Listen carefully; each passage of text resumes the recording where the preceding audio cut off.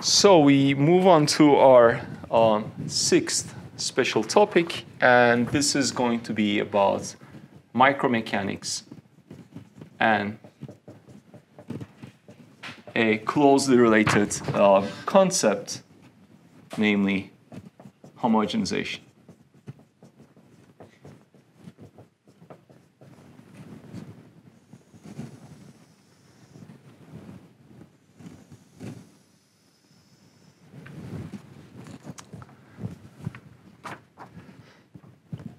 So these are um, two topics actually that sort of always go together.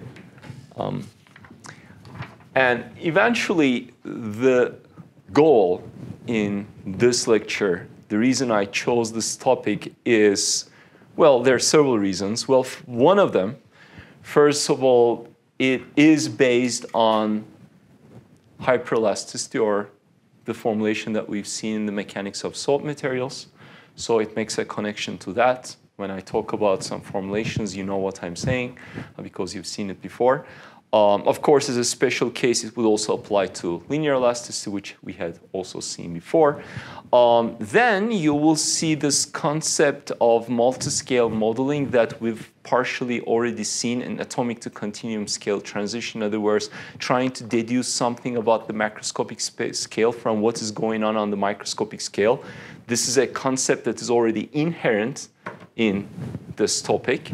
So we're going to somehow actually see um, uh, see, see, see some relevant concepts appearing here as well. Um, uh, and, and finally, when we talk about ideas of averaging that are also naturally a part of this topic, you will see concepts that somehow are closely related to uh, the discussion of Reynolds average Navier-Stokes equation. So you're going to see things that, uh, that you, you're going to see how uh, it links to uh, and complements some of the special topics that we have covered earlier, and that's why I think it's a good uh, topic to choose. Um, and it's quite broad, and I'll mention some of the possible applications. So even if you're interested in somehow dynamics or fluid mechanics or perhaps material science or solid mechanics per se, um, this topic essentially is applicable to all of those um, or finds applications in all of those uh, fields of interest. And eventually, of course, we will make use of the language of continuum mechanics. So we're going to demonstrate um, some equalities where the transitions follow from identities that we had seen before.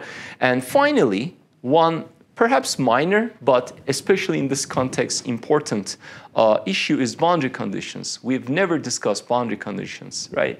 Uh, so this will be one chance to at least expose ourselves to the importance of uh, boundary conditions. So let me uh, start off by our, again, usual picture. So we have a reference configuration and we have a current configuration and we're interested in somehow finding out how this motion occurs or if we know what the motion is, we're interested in calculating um, other relevant um, quantities like, let's say, stress. Um, well, now the discussions we've followed, right, um, in the previous lectures um, mostly assumed or did not give particular importance to the nature of the material within this domain. So yes, when we talked about atomic to continuum scale transition, we said, well, okay, this is what we see on the macro scale, but microscopically we see something else.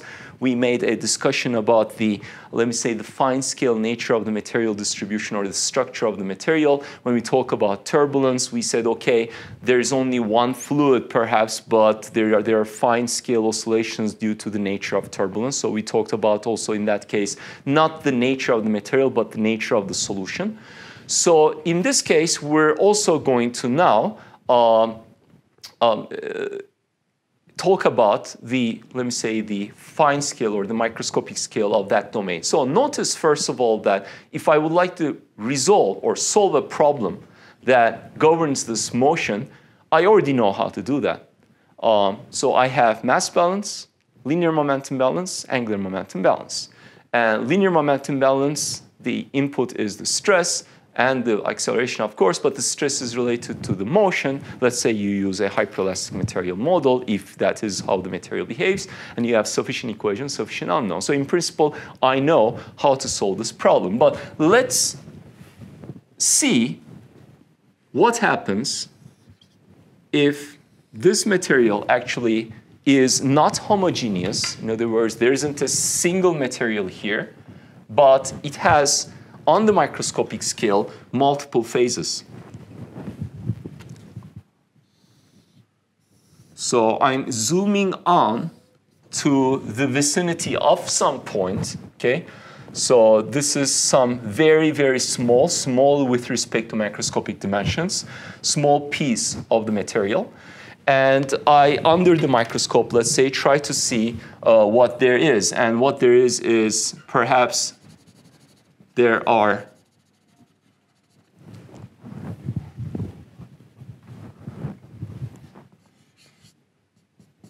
let's do it like this. Multiple phases. There could be a black phase. There could be a green phase. There could be a blue phase. So this could be an alloy an alloy that has is composed of multiple phases. Um, it could be a a composite material where you intentionally introduce some heterogeneous heterogeneities, um, some, some additional, let's say, particles or fibers, etc. And all of these are embedded in some surrounding material, which is the white phase. Okay, so there's the white phase, the blue phase, the black phase, and the green phase, etc. Okay, so this one is the particle phase. And this here would be the matrix phase.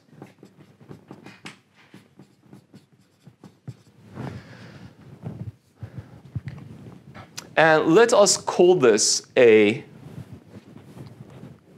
a small volume that is associated with the vicinity of the point that I'm looking at.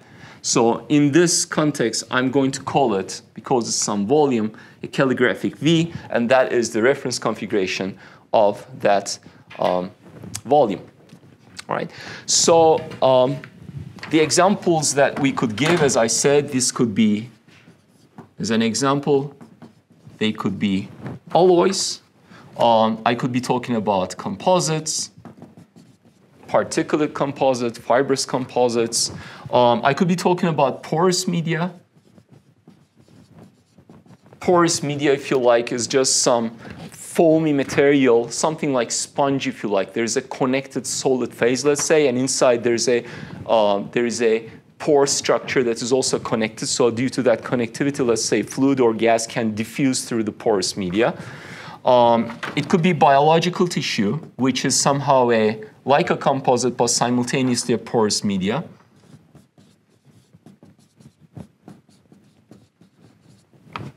Um, you could have fluid particle mixtures.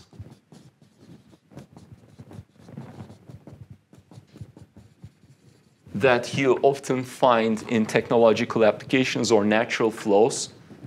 Okay, um, on you can think about blood flow. There is a fluid, and there's there there um, particles within the fluid, deformable particles. So these could be the particles themselves could be rigid or deformable.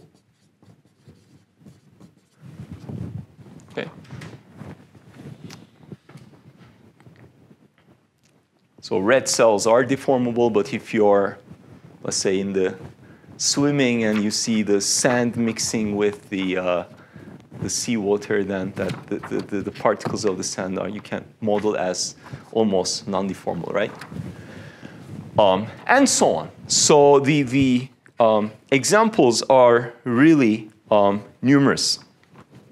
Um, and, and what I like to highlight here is when I talk about a um, material that is on the microscopic scale, that, that has on the microscopic scale a complicated structure, a, a not a homogeneous, but a what we call a heterogeneous structure, right? Multiple phases.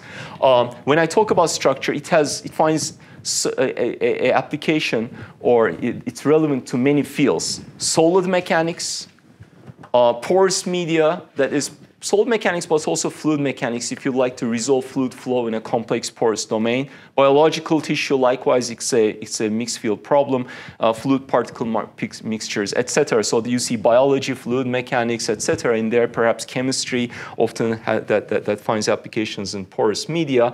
But our emphasis, right, among all of these, right, it will be the top two, okay?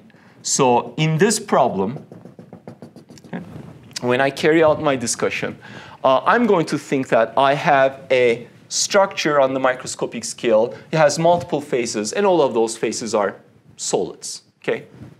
Like, like a fibrous composite, if you like. So this is our emphasis.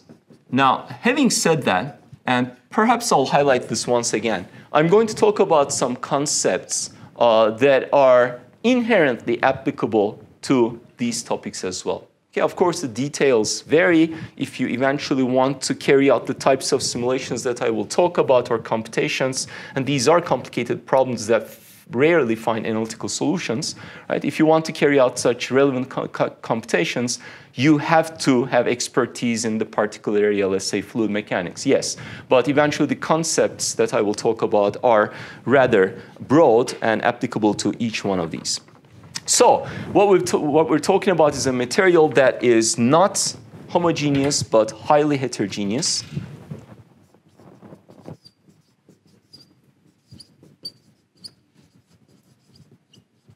Okay, so versus homogeneous, right? And we call the structure or the material distribution, the shapes, the, the, types of the particles that we have in here, um, it, we call that structure the microstructure.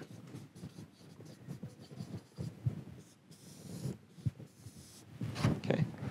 So in other words, here I have the macro scale, sort of let me, in some sense, divided. Above here we have the macro scale, and down below we have the microscale. As I mentioned before, these are relevant length scales. So the reason that one, one calls this, if you like, the microscale is because there is a huge order of magnitude be between the two. It doesn't necessarily mean that the length scales I'm talking about are of the order of uh, micrometers. All it means is that the sizes of these particles that I observe and the sizes, size of this um, this, this V naught, this element that I choose in the vicinity of that point is much, much smaller with respect to dimensions of the structure that I'm trying to analyze.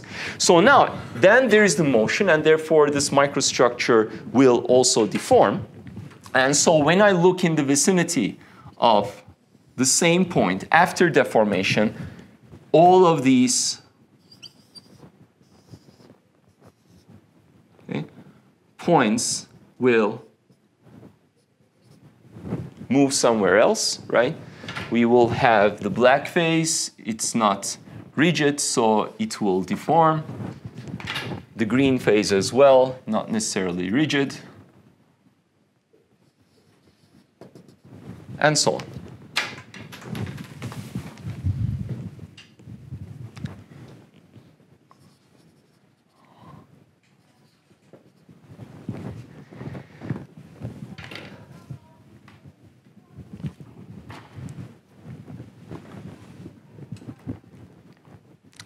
Um, and now what we can observe is that if I look at the displacement field, um, that is the current position minus the referential position. And from that, I can calculate the displacement gradient, del u del capital X. And from that, I can calculate the, if you like, the um, deformation gradient tensor. And as soon as I know what the deformation gradient tensor is, say I have hyperelasticity, I know what the stress distribution is. And the point to observe here is that um, due to this heterogeneous nature of the microstructure, this displacement field is not going to be uniform. Okay, so in other words, on the boundary, let's say, of the small element that I picked in the vicinity of the point, that point is not going to remain as a perfect line. It would remain as a perfect line after deformation if the deformation was uniform, which you have drawn several times in your homeworks. But in this case, there are particles here, stiffer particles here, softer particles there with respect to the matrix. So this boundary does not remain flat, but it tries to somehow ensure that whatever material there is in there, it remains in equilibrium and in order to ensure that it moves in this oscillatory manner. So this U field is highly oscillatory, hence H is, and hence F is. And hence, the stress field is highly oscillatory. So now, if you would like to somehow solve this problem, okay, the deformation of this domain with such a complicated microstructure, and this is just in the vicinity of this point. This structure is everywhere, right? So there are millions and billions of particles, if you like. So if you like to somehow resolve this motion, numerically, you have to have an extremely fine grid, right? Just like the idea we talked about in, let's say, turbulence. And that's going to be super expensive. So if you want to solve this problem, it's very, very hard, okay? Um, of course, you can try to attempt it, and in simple cases, you can solve it if this domain is not too large, but in any case, it's very expensive. So the idea is to somehow look for a simplification, as we've done in the case of turbulence, right? And to do that, to look for a simplification, the first thing we need to do is, is to have an idea about this microstructure. And that you can do so from, let's say, experimental observations. You know what phases are. You know, let's say, the average volume fraction of every phase. So you can somehow try to characterize this microstructure. Okay? And then subsequently, you can try to model it for subsequent uh, let's say, analysis for the purpose of simplifying this problem. So this microstructure is something that we need to model. Okay, and modeling consists of the morphology, in other words, what are the phases, what are their shapes, what are their distributions, and also how do they be, be, um, um, behave. So are they elastic particles, are they viscoelastic particles, etc.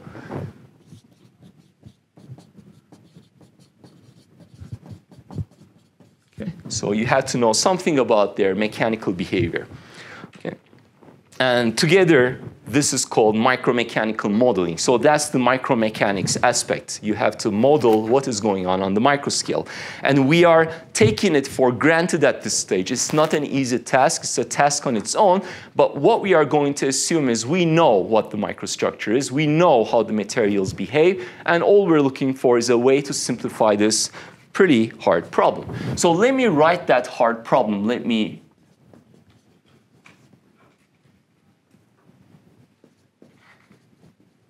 formally define it, I will call it the heterogeneous, and the abbreviation is boundary value problem. Okay. Um, and the heterogeneous boundary value problem is to determine the motion. So the x field, the position of every material point at any given time, so that we ensure that there is equilibrium okay, at every point within the domain. Now, we've never talked about boundary conditions, but there are two typical boundary conditions. Uh, these are not the only ones, but these are the ones that I will make use of. Uh, first, what you can say is on some portion of the boundary, you put a displacement boundary condition. Let's say you fix that point. You allow it not to move. Uh, you do not allow it to move. So that portion is the portion of the reference configuration that is associated with reference with, with displacement boundary condition. So that's what it is, a displacement boundary condition. But what you can also do is you can put exert, let's say, some pressure on some other portion of the boundary. And the pressure is just a special case of a general traction condition where you can have only not normal force per unit area on the boundary, but also tangential ones. That would be the traction.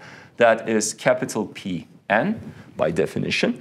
And what you can say is that that is prescribed to a certain value that may or may not be a constant on a portion of the boundary that is associated with these so-called traction boundary conditions. Okay, and once you endow the problem with traction boundary conditions, now it's well defined and you can go ahead and solve for that problem, right? Um, okay, now of course to solve the problem that's not sufficient, we need closure, closure in the sense that I need sufficient equations for my um, unknowns, and that comes through the constitutive formulation.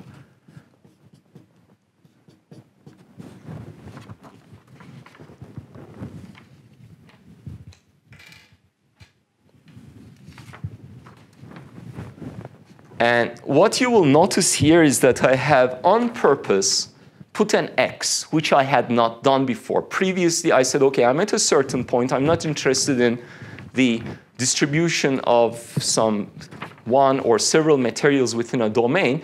All I'm looking for is the relation between stress and deformation. But now I'm interested in the solution of a boundary value problem. Um, so I have a differential equation, boundary conditions, and I need the value of p for a given f, but that depends on where I'm at, because I might fall into the blue phase or the green phase or the black or the matrix, the white phase. So depending on where I am, the constitutive relation I'm using is different. Even if I have hyperelasticity, particles might be Ogden material, and the other ones might be Neo-Hookean, for instance, right? They have different functional relations. So what this does is it highlights the heterogeneous nature of the uh, problem.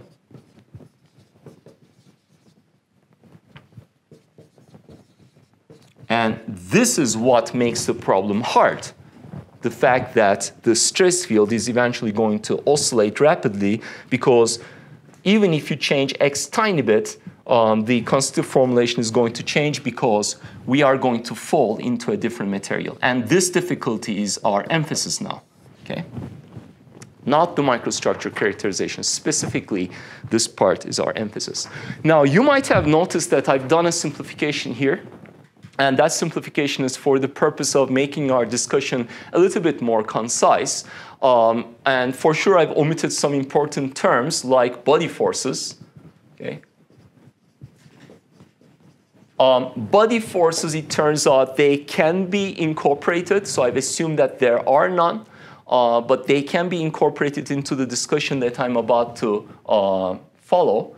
So I'm just going to here say can be included with little difficulty. Uh, but I've also omitted accelerations.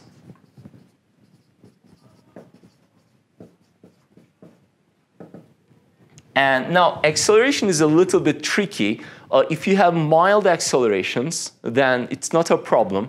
But if you have very severe, let me say, acceleration, in severe in the sense that you have something like a shock front, a shock wave uh, propagating through the material, then it's a little bit tricky in the context of the topic that we are uh, analyzing. So I'm also omitting acceleration. Again, mild magnitudes, let me say, whatever that means. I've tried to give you an example. Mild magnitudes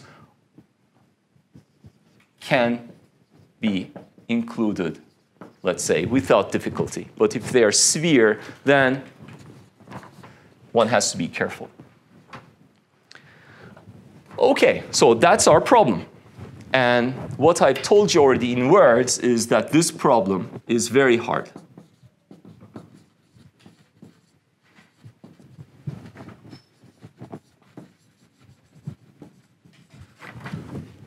It's quite demanding. Um, computationally, let's say, because even if the problem is homogeneous, you rarely have analytical solutions, but in particular, these days, you are interested in the computational complexity. Okay? So that is very demanding, and so we look for a simplification.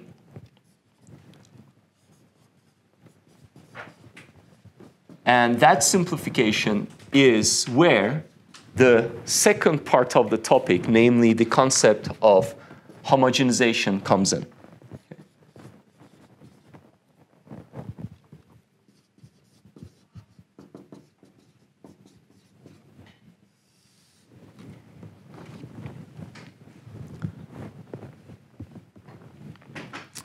And actually, um, the idea is quite simple.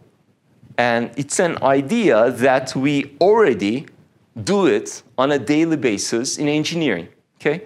So in engineering, suppose I'm going to construct, right, um, the hull of a car, right? Uh, the, the, the, the, the uh, let's say, the frame, and you're using some aluminum alloy. It's an alloy, so if you look at it, it has a fine microstructure. But you don't try to go ahead and resolve that microstructure. Instead, what you do is you take the material, you test it, okay, let's say in the under tension testing, and you try to find out how the material behaves in that experimental setup on your scale. That's the macroscopic scale. You try to somehow not think about the microscopic details, but also only try to get an idea or a feeling about the apparent behavior of the material on the macroscopic scale. So, so, so presently, so in this context, what we could do is I could take, is this, is this the domain that I'm trying to analyze? Yes. I take a piece of the material and I do a tension test on it. There are all these complexities, and I could do that test numerically as well. And that's precisely, in fact, what we're going to do in some sense. And then try to extract the macroscopic, let's say, the Young's modulus and the Poisson ratio, et cetera, that is associated with this test specimen. And then forget about this complexity. Think of this as some homogeneous material that is, that is not complex anymore, and then solve this simpler problem on a very coarse numerical grid. That's the idea. Now, of course, the material is actually heterogeneous. You're making that simplification on the macroscopic scale only for practical purposes. So what you are dealing with now is not really a homogeneous material, but one that is just conceptually homogenized. And that's where the concept homogenization comes in. Okay? So um, if I can find my black pencil, there it is. That's not it. There it is. Um, so, so the aim, or we aim to find, if you like, characterize the macroscopic or apparent behavior.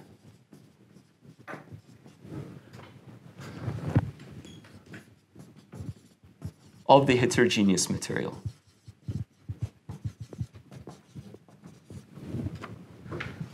Okay? That's what we aim to do. And then, of course, once we find it, we want to make use of it because our goal was to solve a problem that was originally hard.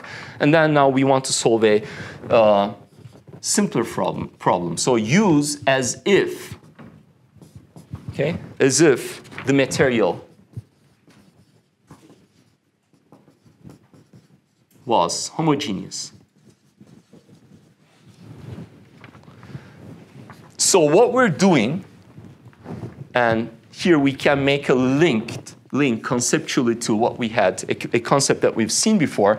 We are making a transition from one scale, a fine scale of the problem, um, to the macroscopic scale, and we're going to use homogenization as a tool. So in this case, the microscopic scale is also a continuum.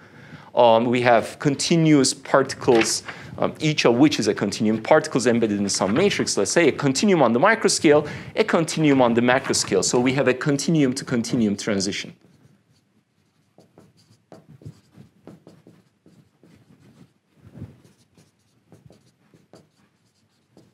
Versus the atomic to continuum scale transition, for instance, that we had um, seen before. And now I will introduce a notation that I will follow in subsequent um, um, derivations. So I will indicate a quantity. This could be the stress or deformation gradient. I'm just choosing a generic uh, entity here, scalar entity A. Uh, so without any specific notation on it, this refers to the microscale. And if I, if I put a bar on it, okay, if I put a bar in it, it just means that it's the macroscale counterpart of the same entity, okay? What a bar exactly is is something we're going to define, okay? It just refers to the macroscale. So now all that's left is now we have the idea at hand. Uh, we have to construct the details of this um, of this idea called homogenization. Now, eventually, how would you, uh, what, what is the type of behavior that you would expect? Let's discuss that slightly, very briefly. So for instance, if you have, in the context of our emphasis, we have on the microscale, micro, um, solid, solid microstructure. And on the macro scale, therefore, I have some solid formulation. So in other words, if everything on the microscale is hyperelastic, or in general elastic, I would expect that on the macro scale, I also have some elastic law that governs stress and strain, okay? Uh, and I need to find the effective or, let me say, macroscopic or apparent elastic elasticity tensor, okay? Uh, so that, that is our emphasis. Suppose you're interested in flow through porous media. So on the micro scale, then you have some porous skeleton uh, that may or may not be deformable. And within, through that uh, skeleton flows a fluid, right? So the fluid is governed by Navier-Stokes, but we've already said in that case, probably you're going to be dealing with Stokes flow because inertia is negligible. And then, so you have Stokes flow formulation for the fluid and let's say rigid uh, skeleton. And then you do homogenization on that.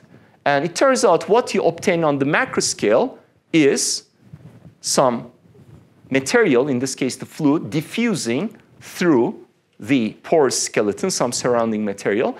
And you have diffusion only if you have pressure gradients. And that is precisely what is described by a Darcy's law. Darcy's law says that the rate of the flux of the fluid or diffusion, okay, you might remember from fluid mechanics, is associated with the gradients of the pressure. So homogenization gives you that law. Okay?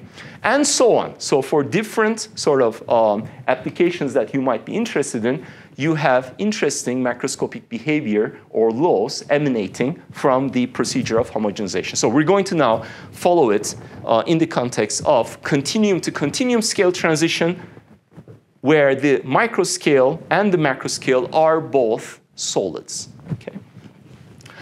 Um, so now I have stated the heterogeneous boundary value problem. Suppose we accomplish that goal, which we're about to start very shortly, then what we want to do is solve, hopefully, a simpler problem, which is going to be the homogenized boundary value problem. So that problem, it turns out, is not different. It is certainly simpler, but not that different from the original one.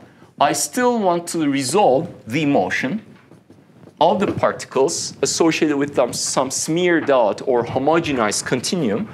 Uh, and that continuum has some referential configuration.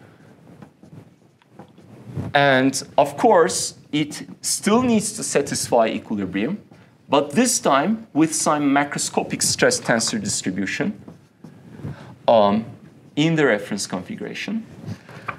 And there are going to be boundary con conditions. Now, Depending on the problem that we're looking at, the boundary conditions may also be subject to the procedure of homogenization. But in this context, I'm going to keep it simple and simply say that, well, the problem that I'm trying to solve is described by equilibrium and boundary conditions. I'm not trying to modify my problem, so the boundary conditions remain the same. Yes, I'm trying to solve for some homogenized um, deformation of the continuum, but the boundary conditions are what they were before. I kept one end of the domain fixed. I will do so again. Okay. Um, and on one portion of the boundary, I applied a, let's say, pressure, and I will do so again. Okay. But now the traction is described in terms of the macroscopic stress. So I have a macroscopic traction onto which I apply that boundary condition. Okay. And the critical part is that now I don't have to address the heterogeneous nature because I've already homogenized it. And therefore, I'm trying to resolve only some macroscopic stress field, which hopefully is not going to be highly oscillatory, unlike the original heterogeneous problem. Okay? So this here is, however, the missing link This is precisely what I'm trying to find out. If I know this, the rest can be immediately solved for. But I don't know what that is. What I know is the microscopic scale behavior. I know how every phase behaves, but I don't know this macroscopic or apparent constitutive behavior of the heterogeneous material. Okay? Um, so the critical thing is, however, in any case, uh, that I don't have any more x dependence. That's what makes the problem simpler or computationally, let's say, cheaper. Okay, so maybe I should write down a few things I said. So we do use the same boundary conditions, that, that's my abbreviation for it, same boundary conditions. Uh, we do need to invoke macroscopic equilibrium. That's something that always needs to be satisfied. And the missing link is our macroscopic constitutive formulation. That's what we need to find out to solve this homogenized boundary value problem.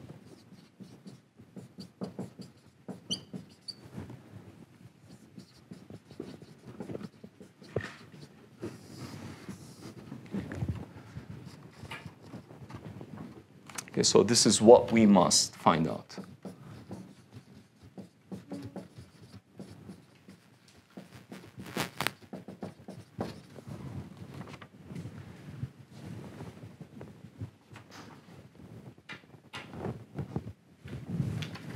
All right, so that's the idea, right? And I've already told you the way of finding out that macroscopic constitutive behavior is to do testing. And we're going to do that in a theoretical, and eventually one could embed that in a computational environment. So let's talk about how to find the relation between F bar and P bar. Namely, how do we do material testing? But material testing, not in a tension test machine, let's say, but in a theoretical computational environment.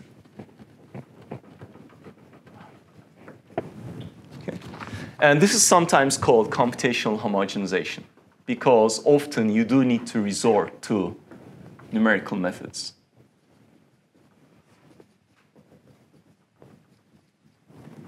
Okay. And so the idea is just like testing a material in, an, in a laboratory, you need to take a sample from your specimen, from your heterogeneous material, the thing that you're trying to make use of in constructing a, a, a problem or a structure. And that sample is going to be our volume, V naught. And in that volume, so I won't make it very fancy, but let's say if we have a particular microstructure, a white matrix and black particles, this could be a sample that I pick. And I'm going to now do somehow pull on it, deform it, and try to find the relation between stress and deformation. Now, this is something that needs to be representative of what is going on in the microstructure, in the sense that, so if we look at our original microstructure, right, um, there are a there's a particle distribution, and that particle distribution might be very, very dense on one side of the domain. Let's say the volume fraction of the particles could be 60%, whereas on the other side of the domain, uh, it could be only 5%. There are scarcely any particles. So in that case, I cannot really endow the whole thing with a single material because the fact that there are denser particles there perhaps renders the material stronger there and weaker there, right? So I'm going to make an assumption for the purpose, again, of our discussion. I'm going to say that the particles are uniformly distributed everywhere, which means that irrespective of where I pick that sample, I'm going to see the same picture. Okay? So that is called statistical homogeneity. In other words, when I pick a volume element and I, and I look at what is inside, it looks roughly the same, irrespective of where I pick that sample. So it won't look exactly the same because perhaps the distribution of these particles are random. So let's say I can draw a, let's say I can draw two statistically equivalent particle distributions, each of which has six particle or seven particles. Okay. So you look at them, they don't look all that different, but they both have seven particles, and I could draw, let's say, a thousand of such realizations, and all of them would, would look more or less the same. In other words, versus that and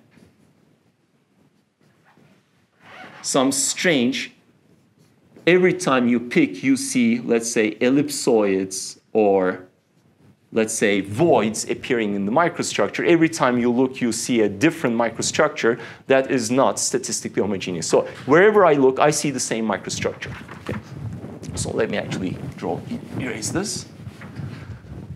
And that microstructure that is representative of the microscale is called a representative volume element.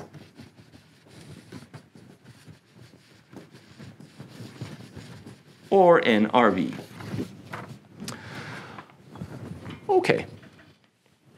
Um, and eventually I will have some field over that microstructure like deformation or stress, and I will define averaging for a quantity that is oscillatory over the microstructure, right? We've discussed that the displacement and therefore its gradient and therefore the stress oscillates rapidly as I move across that microstructure from point to point due to the presence of these particles.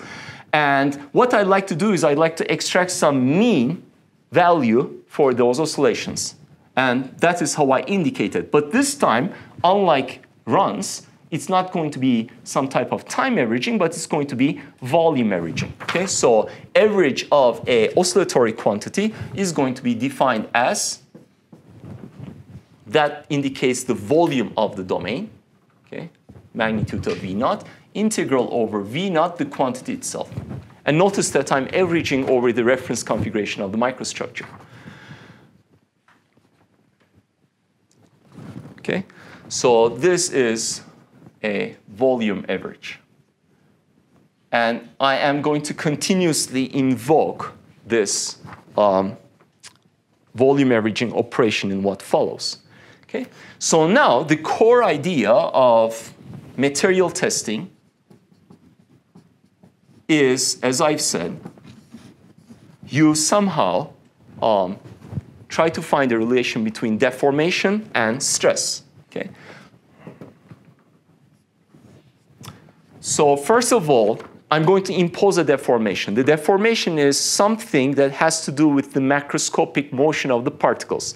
The macroscopic motion of the homogenized continuum is described by x bar, and therefore there is a deformation gradient associated with it, which is f bar. Okay?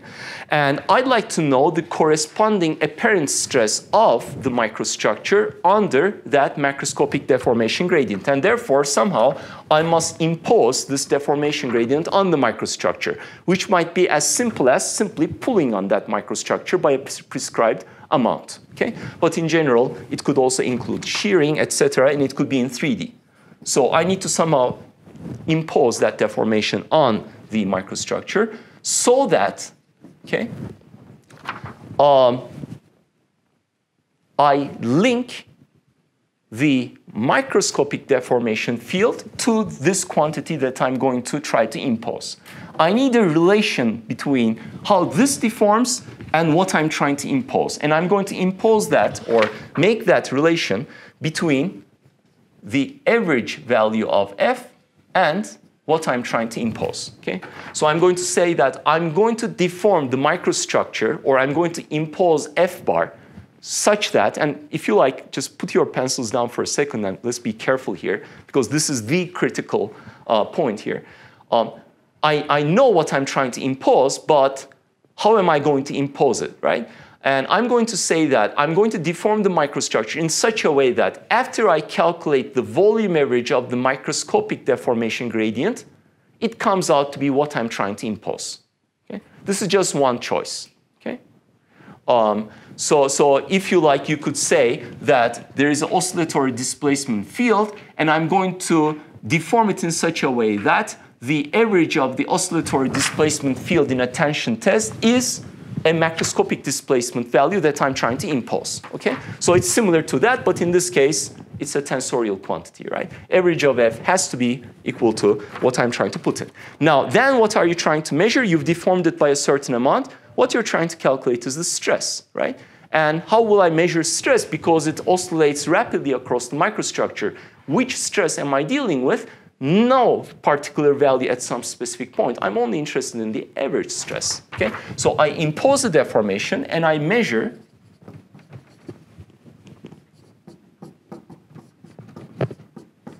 this stress as a volume average as well. So impose a given deformation as a volume average, measure the macroscopic stress as a volume average. This is material testing within a computational setting. Sounds actually pretty simple. I don't know how I will impose it yet, but I know how to measure it once I accomplish that, let me say, constraint.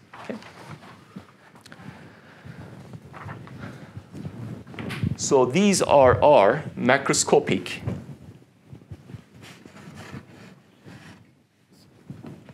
or our fundamental macroscopic quantities. Okay.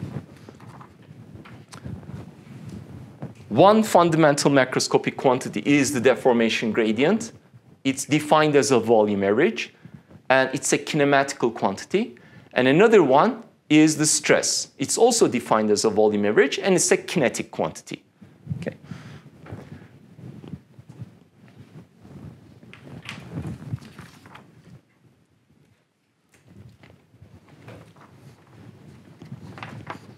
All right, well, suppose I do this. So I impose the deformation and I measure the stress. So what? Well, so what is the following you plot, let's say, the value of f that you're trying to impose and the value of p that you measure from your sample in a numerical setting, and you collect data. And your data is, of course, if the deformation is identity, there is zero stress, so you start here. And then you deform, there is a stress, you deform further, and that's your data.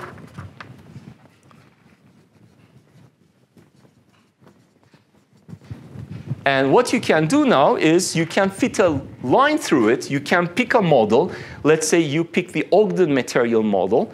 Um, if this thing macroscopically behaves indeed isotropically, you pick the Ogden material hyperelasticity model. And there are many free parameters, remember there. You can choose those parameters or determine them so that the model fit follows these, this data as closely as possible. It may not follow it perfectly, uh, so that will introduce some modeling error, but still, it might be very close. So that's your model fit. And the model fit describes the relation between P bar and F bar. And now you have a relation. And now once you have the relation, now you can go back to your homogenized boundary value problem. Have a look here for a second, right? You can go back to this problem. This was the missing link, and now I know it. And now I can solve this problem, okay? And it's easier to solve, remember, again, because it's homogenized, and there are no oscillations in the microscopic or strong oscillations in the microscopic field, okay?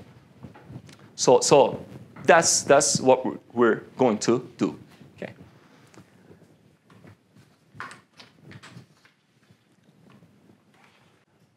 Okay, um, I should make a short remark here that is important. So notice that we've defined these so-called fundamental macroscopic quantities as volume averages.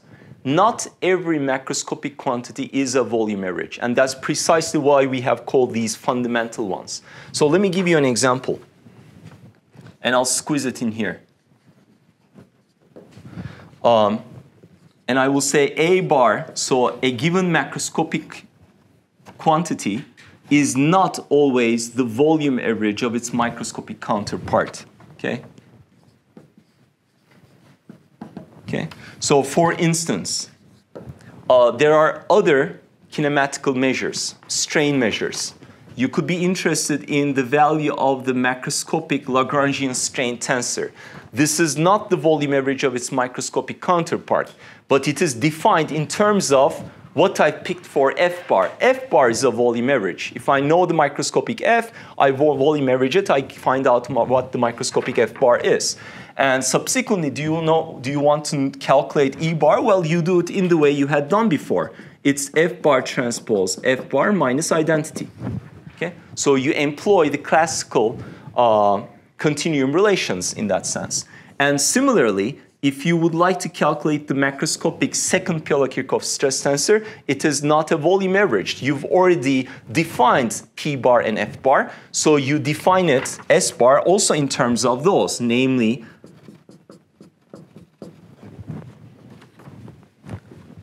it is P F bar transpose.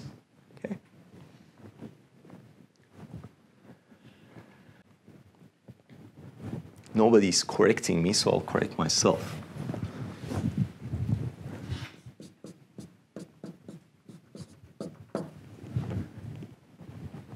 F inverse P.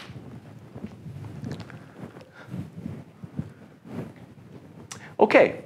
Um,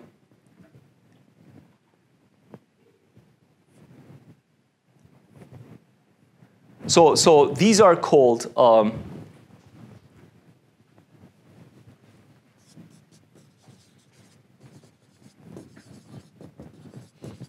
not fundamental, but rather derived macroscopic quantities.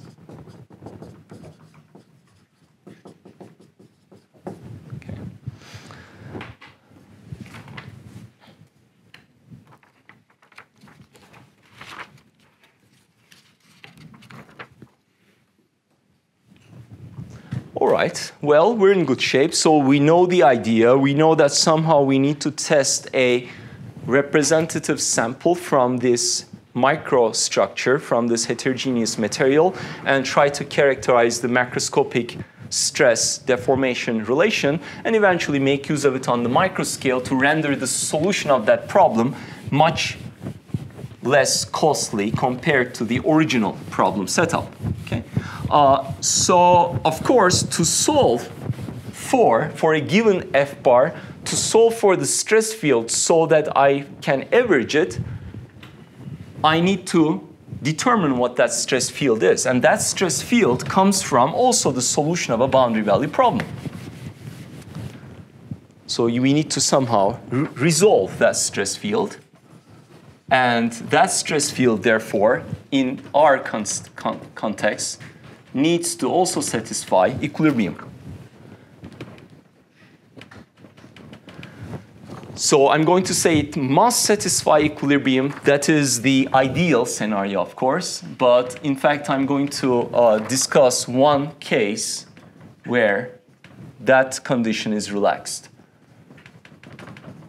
But in general, the stress field is always the one that corresponds to equilibrium, and in this case, to microscopic equilibrium. So I'm trying to do testing on the microstructure in a numerical setting, and that entails solving the following problem.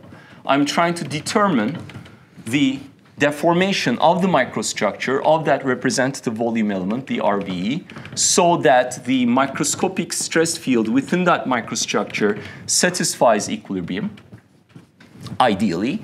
And there is a boundary condition. In this case, the boundary condition is imposed in a very, let me say, vague manner. All I want is that the deformation field is such that it is somehow equal to the deformation that I'm trying to impose because I want to say I pulled by that much and I measured that stress. So, but the deformation field is heterogeneous, so I'm trying to make a link between micro and macro scales in this average sense.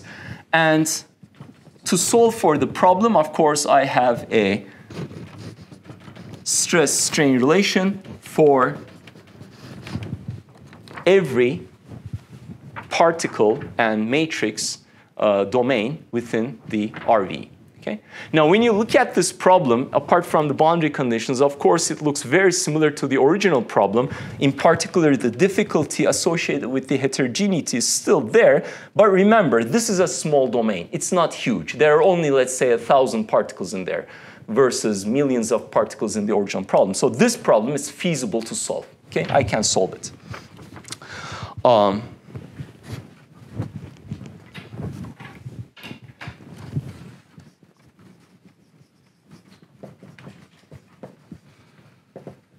So it's a small problem. It's feasible to solve. And the critical part is, of course, to a little bit more discuss this vague imposition of the deformation that I'm trying to achieve in an average sense. And I'm going to call this the F bar condition because I haven't told you how one could possibly satisfy that condition, uh, but very shortly you will see that. This condition is the link between the kinematics of the macro and micro scales.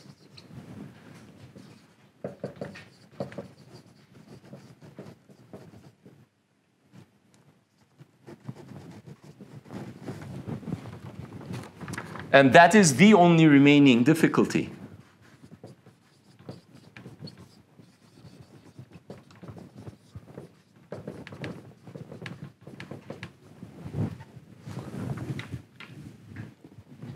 And that's what we will now concentrate on.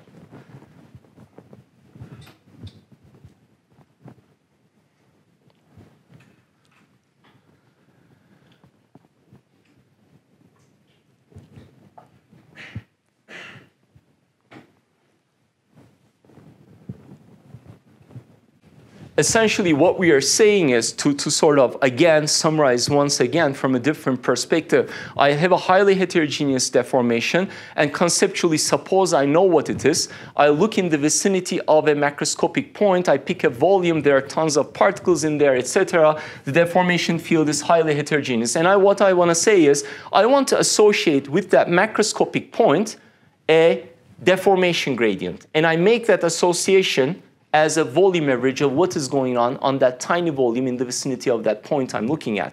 So that is the sense in which I'm linking the kinematics between macroscopic and microscopic scales. And similarly, I want to say that I want I need a relation between the stresses. Again, I associate the volume average of the stress to be the stress at that point macroscopically somehow smeared out. I don't think about the details. I'm only looking at the mean value, the average. Of course, there are oscillations around it, but that is precisely the nature of simplification. I'm not interested in those oscillations at least in the first step. I'm only interested in mean values, and once I deal with mean values, just like in RANS, Reynolds average Navier-Stokes, I hope to be able to then deal with this problem in a much cheaper fashion, right? That's the goal. So I know what to do to determine that relation. I need to do testing. This is the computational problem that you have to solve on your RVE. And everything is well defined. Everything looks standard except that I have this strange boundary condition, which is called the F-bar condition. I need to ensure that after deformation, the average deformation gradient in the RVE is equal to my input.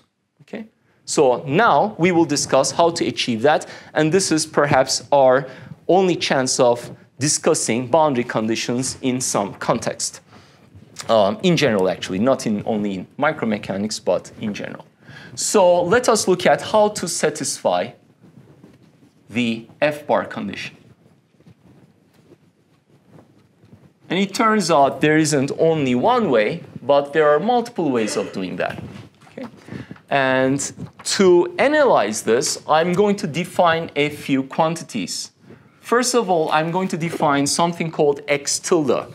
It's sort of like an oscillatory field, but oscillatory field that is defined in the following way. Okay? Every point in the um, RVE, the domain that I'm computationally testing, has a spatial position after deformation and I'm trying, I'm now calculating the difference between that and a uniform deformation hypothesis, which would be, which you will remember from Cauchy-Born hypothesis to be f bar x. Okay? This is a uniform deformation, but that's not how the microstructure deforms. The difference is some oscillatory field. Now, what I can do is I can calculate the gradient of that oscillation. And on the left-hand side, you have a quantity which let us call f tilde. Okay. Um, here you have f, and here you have f bar. Okay. And now what I can do is I can apply volume averaging to both sides of that equation. So I will volume average that as well as that. And I will obtain average F tilde is equal to average F minus F bar.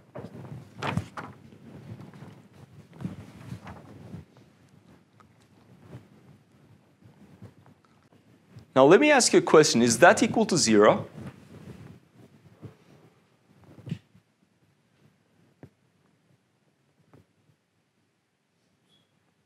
Why? Yes, we hope that it is. That is the condition that we are trying to impose. So if we impose that condition correctly, then average f will be equal to f bar, and it will be equal to, therefore, 0, f tilde average. But if we make a mistake in our imposition and if we do not satisfy that, let me say, constraint, then this is not satisfied and it will not be equal to 0. So the condition that it is equal to 0 is equivalent to saying that I satisfy the f-bar condition. Okay? So this must be 0. And here I'm highlighting if uh, f-bar condition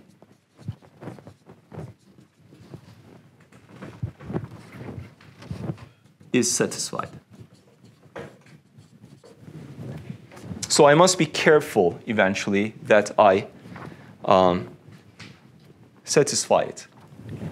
Uh, now, similarly, I can define a oscillatory traction field and the idea is somewhat similar. So there is the actual traction field, just like the actual position.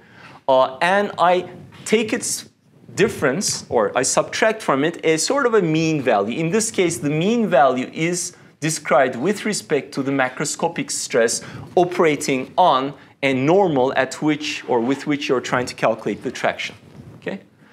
So uh, if the normal does not change on a certain boundary, let's say I have my domain, the RVE, on that surface n does not change, and p bar is a constant, and therefore on that surface you have a single mean value, but the traction can highly be can be highly oscillatory because I have particles in there, etc., and the deformation in the spatial configuration is very heterogeneous. So p is not equal to that; it will be uh, non-zero in general. So this is associated with some oscillatory stress field, if you like. There is a macroscopic p, or sorry, capital P tilde multiplying n gives you p tilde. And this, of course, is pn. And this is p bar n. Now, here there is no doubt. I am defining p bar to be average p.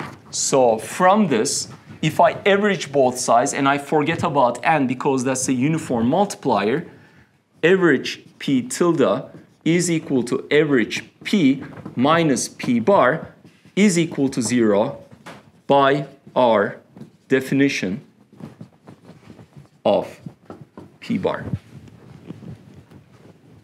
Okay. Because I'm not trying to ensure somehow that P bar is average P. That's my definition. Once I satisfy the F bar condition, and I solve my problem, I will obtain a microscopic stress field over the RVE. I average it, and I obtain P bar. So this is the definition, that equals that, and therefore the volume average of the oscillatory stress field is equal to uh, zero by construction. So now, next time, right, so we will concentrate on that remaining difficulty of satisfying the F-bar condition based on these relations that I have written. Okay? And we will see specifically three types of boundary conditions that are of practical and theoretical uh, interest.